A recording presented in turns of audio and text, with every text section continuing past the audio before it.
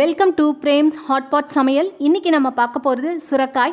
சுரக்காயில் ஒரு சூப்பரான எம்மியான ரெசிபி தாங்க பார்க்க போகிறோம் நான் இன்றைக்கி பெரிய சைஸ் சுரக்காய் வாங்கியிருக்கேன். அதனுடைய தோலை சீவி அதில் உள்ள விதைகளை எடுத்துட்டு பொடி பொடியாக நறுக்கிக்க போகிறேங்க இப்போ பாருங்கள் தோல்லாம் சீவிட்டு விதைகளை எடுத்துட்ருக்காங்க எங்கள் அம்மா தான் அதை செய்கிறாங்க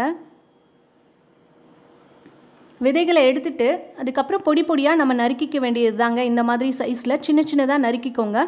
நறுக்கிட்டு வேக வே- வேக வைக்க போகிறோம் நம்ம. வாணல் வச்சு எண்ணெயெல்லாம் ஊற்ற வேண்டாம். ஜஸ்ட் நம்ம வெறும் வாணலை வச்சு அரிஞ்சு வச்ச சுரக்காயை அப்படியே போட்டு ஒரு ரெண்டு நிமிஷம் வதக்கிட்டு தண்ணி ஊற்றி மிளகாத்தூள் போட போகிறோங்க மிளகாத்தூள் போட்டு வேக வைக்க போகிறோம் இது சீக்கிரமாக முடியக்கூடிய ஒரு டிஷ் தாங்க. அரியறது தான் வேலை. இது அரியறது தான் கொஞ்சம் நேரம் ஆகும். அந்த விதைகளை எடுத்து பொடி பொடியாக அரியறது தான் வேலை ஆகும்.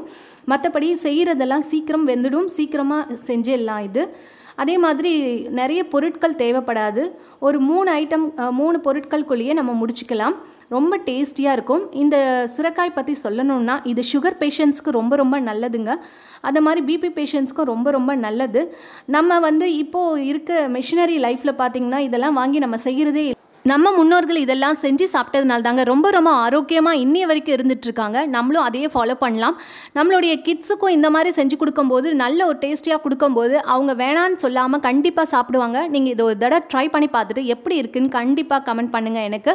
இப்போ பாருங்கள் சுரைக்காய் வதங்கின உடனே கொஞ்சமாக தண்ணி விட்டு ஒரு டம்ளர் இல்லை ஒன்றரை டம்ளர் தண்ணி விட்டுட்டு குழம்பு மிளகாத்தூள் வீட்டுக்கு யூஸ் பண்ணுறோம் இல்லையா? சாம்பாருக்கு யூஸ் பண்ணுறோம் இல்லையா? அந்த குழம்பு மிளகாத்தூள் ரெண்டு ஸ்பூன் போட்டுக்கோங்க. போட்டுட்டு அதை வேக வச்சுட்ருக்கும் அது வெந்துகிட்டே இருக்கட்டும். சைடில் நம்ம மல்லாட்டை எடுத்துக்கலாம்.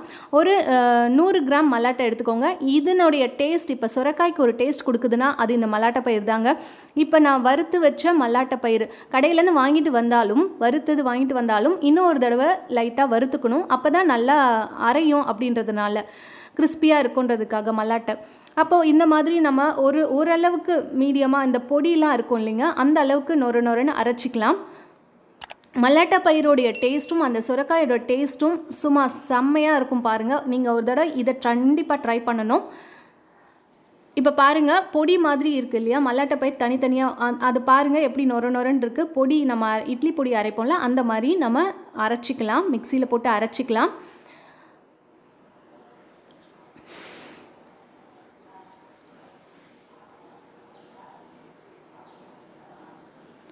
சைடில் அதை அரைச்சி வச்ச பிறகு சைடில் இப்போ நான் தாளிப்பு ரெ- கரண்டி வச்சுருக்கோம். எண்ணெயை விட்டு கடுகு போட்டுக்கலாம். அவ்வளோதாங்க சிம்பிளாக சீக்கிரமாக முடிஞ்சிடும்.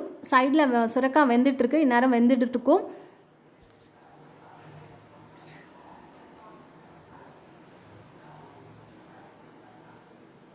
இப்போ தாளி தாளிச்ச கடுகை இதில் நம்ம வெந்த சுரக்காயில் கொட்டுறோங்க.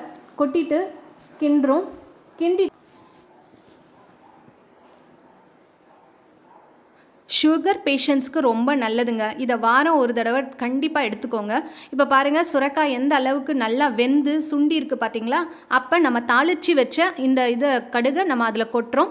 கொட்டிட்டு ஒரு நிமிஷம் தாங்க ஃபைனல் ஸ்டேஜ் இப்போ நம்ம அரைச்சி வச்ச மல்லாட்டை பயிரை நம்ம அதில் போட்டு கலக்க போகிறோம் கலந்துட்டு ஒரு நிமிஷம் தாங்க செம்மையாக இருக்கும். டேஸ்ட்டு செம்மையாக இருக்கும். கண்டிப்பாக நீங்கள் ட்ரை பண்ணி பார்த்துட்டு எப்படி இருக்குன்னு மறக்காமல் கமெண்ட் பண்ணுங்கள்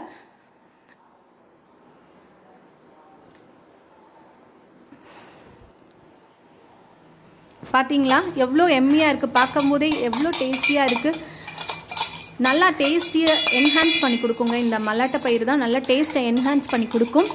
நீங்கள் உங்களுக்கு தேவையான அளவுக்கு காரம் போட்டுக்கலாம். சில பேர் ச சப்புன்னு இருக்குது இந்த சுரைக்காய் வந்து சப்புன்னு இருக்கும் அப்படின்னு நினைப்பாங்க. அதுக்கு தேவையான அளவு மிளகாத்தூள் நீங்கள் போட்டுக்கிட்டிங்கன்னா இன்னும் கொஞ்சம் நல்லாயிருக்கும் காரம் கம்மியாக வேணும்னா காரம் கம்மியாக போட்டுக்கலாம். அவ்வளோதாங்க சூப்பராக ரெடி ஆயிடுச்சு.